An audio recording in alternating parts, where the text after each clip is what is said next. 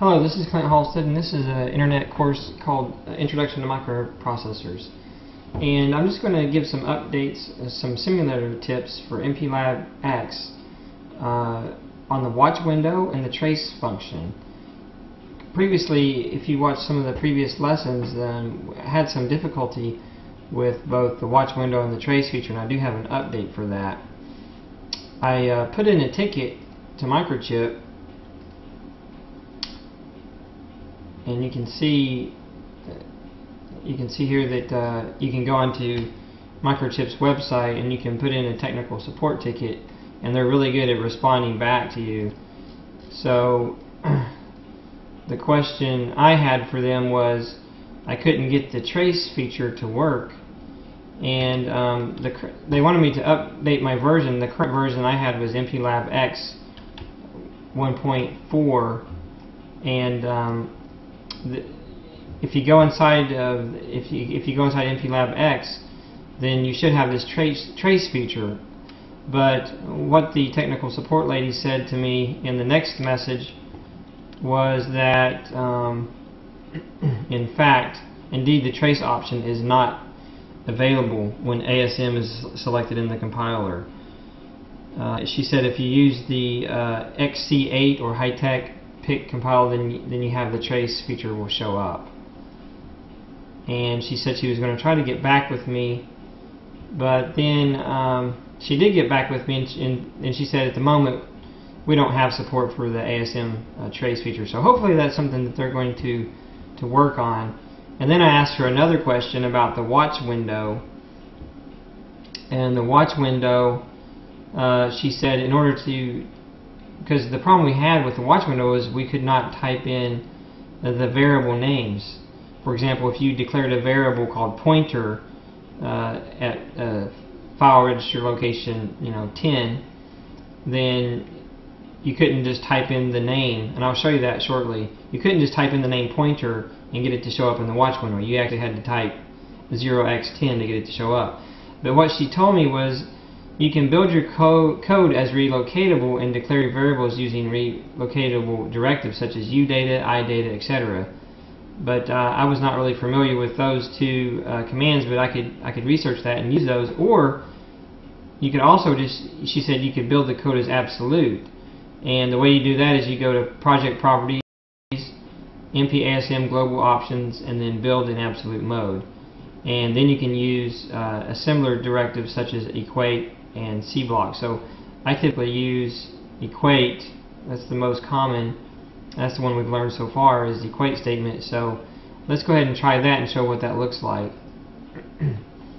so here's here's a project I have called Flashing LEDs 3, and um, you can see here you can get this code again off of the website called www embeddedknowhow.com. You can get you can get that. That was under chapter 5, I believe 5.8, flash, flashing LEDs 3. So you can get that code, and you can build that, and you can notice that we have this variable called pointer, uh, equate 10, and you can see down here that I've, I went ahead and added it. Let's delete it and see see how can we add that. First off, first thing you have to do is you have to go to your project settings, which is the wrench, or you can go to File. Uh, let's see, where was that at? I think it was. Oh, you can right click here and then go to. Oh, well, edit. Well, I'm I'm I'm not really seeing where's that at. Project settings. Oh, there it is. Project properties. Sorry about that. Project properties, or you can go to the wrench icon. So either way will work just fine. So I usually go to the wrench icon to do that. Now notice that if you click the wrench icon, everything seems to be grayed out. Okay, nothing seems to be, you can't really click on anything and get it to work. You can see down here, there's no, you can't fill in any data.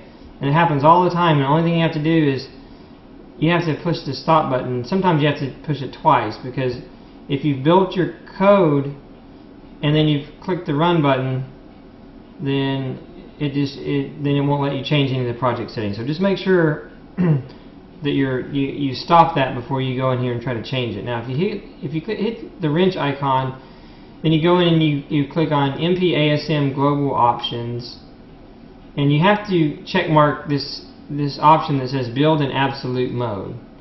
If you click click Build in Absolute Mode, and then you you can rebuild your program. Okay, now once you get it built, now you can go go down in here and you can open your watch window. And we already talked about how to open up a watch window. You you just go to window and then debugging and then you click watches and it'll open up a watch window. And then you right click well, actually you don't have to right click you can do new watch if you want. If you do new watch then you're supposed to be able to see these global symbols under, under here but you can't.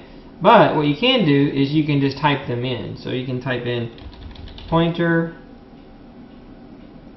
okay hit enter and you can see now it added it. Because before it well actually before I think it added it too but actually when you ran it it actually didn't work. So now when you actually go to run it and then you pause it you can see now that pointer has a, a real value and before you noticed that we had to actually just type in 0x10 you can see that uh, pointer and 0x10 are one and the same they're one. They're. Um, sorry. You can actually move this up here if you want. Just uh, left click on it, drag it, and well, maybe we have to. Maybe I have to stop it. Let's see if I can move it up here. Well, I guess you can't. I thought you could. At one point you could. But now it's not letting me for some reason. well, anyway, you can see that the, the value of a pointer and this 0x10 which we were using before they're exactly the same value. So that's that's kind of the workaround that I found for getting the the watch window feature to work with assembly. Now a lot of these features work with uh, sounds like from from her email the support lady's email it sounded like you know a lot of these features are supported in, in C but uh, maybe it's just something they overlooked in assembly I don't really know what the deal is and hopefully they're going to get that that working in assembly at a later point that's all I have for right now, and that's an update to some previous uh, information that I, that I gave on the simulator in MPLAB X. Thank you.